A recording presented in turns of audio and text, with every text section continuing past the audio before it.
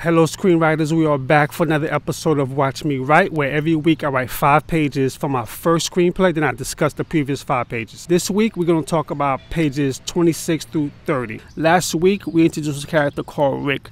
Rick does play a major role in the story. Rick was the one who purchased drugs from Damon. In the previous pages, Rick realizes the drugs were bogus. In these new pages, he goes right into Damon's territory. He makes his presence known. He rolls up in Damon's corner in a vehicle, with tinted windows. He doesn't get out the car he does make sure that Damon sees him, and Damon does see him.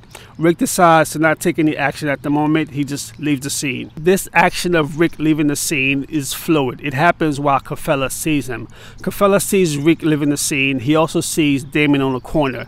He has a decision to make. For the longest time, he's always taken the long way home. As kids who's been bullied knows that the long way home is the safest way home. This time, Kafella decides to brave it. Possibly, he has his brother Jamal in his head. As you know from the previous scenes, Jamal tends to tell Kafella that he's a punk, he should stop running. This might be the reason why Kafella decides to just take the short way home. This was a mistake. While he approaches Damon, Damon taunts him, he teases him. Kafella decides to be the bigger person and walks away. Damon does not like this. Damon hits him in the head with a beer bottle. Kafella falls on the ground, bleeding. While Kafella's on the ground, bleeding, Damon is over him, telling him, Make sure you tell your brother I did this. There's a reason for this. Damon, Alonzo, and Kafella's older brother Jamal, all three of them have a history. After this incident happens with Kafella, we jump straight into Kafella at home, cleaning the blood from his wound. Alonzo and Jamal walks in and see Kafella hurt.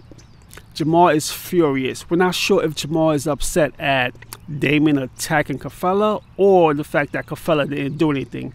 Words are exchanged. Revenge is now on the table. Towards the end of the pages, we are introduced to a new character called Butcher. Butcher is a good friend of Rick. We see Butcher interacting with Chris. As mentioned before, Chris is trying to get into the drug trade business, and Butcher is the one that can make that happen for him. That is it for pages 26 through 30. Next up are pages 31 through 35. If you think about writing your first screenplay, go to your favorite app store, download Stratword. Subscribe to this channel, like this video, fade out.